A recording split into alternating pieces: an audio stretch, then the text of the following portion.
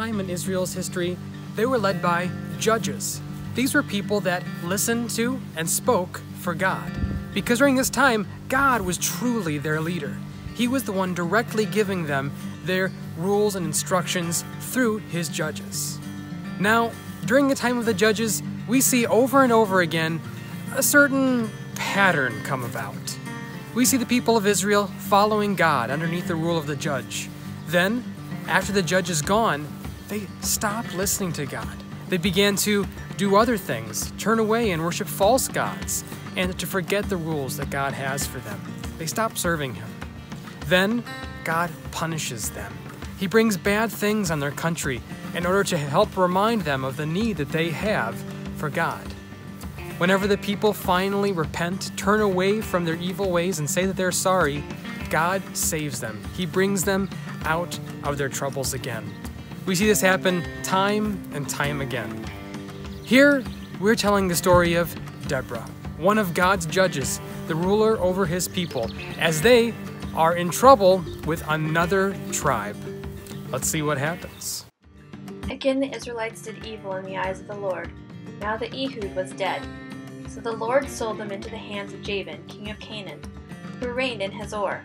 Sisera, the commander of his army, was based in Harosheth Hagoyim. Because he had 900 chariots fitted with iron and had cruelly oppressed the Israelites for 20 years, they cried to the Lord for help.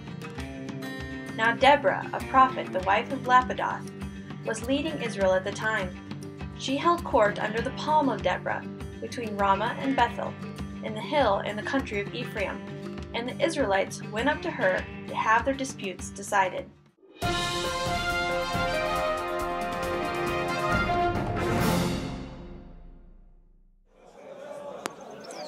Extra, extra!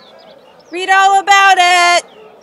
Canaanite army prepares for battle against Israel. What will be Israel's response? Hey, you, go and get Barak for me.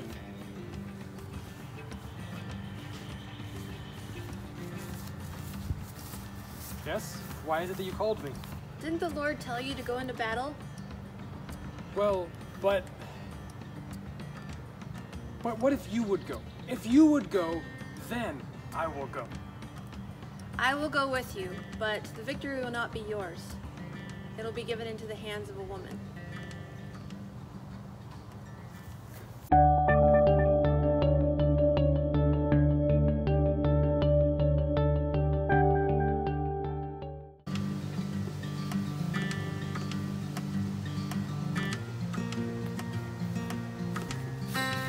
You standing around here for? You were supposed to be going to battle. Get up and go. Okay.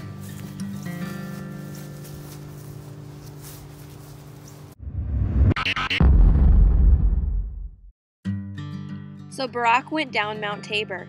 His 10,000 men followed him. As Barak's men marched out, the Lord drove Sisera away from the field of battle. The Lord scattered all of Sisera's chariots. Barak's men struck down Sisera's army with their swords. Sisera got down from his chariot. He ran away on foot. Extra, extra! Read all about it!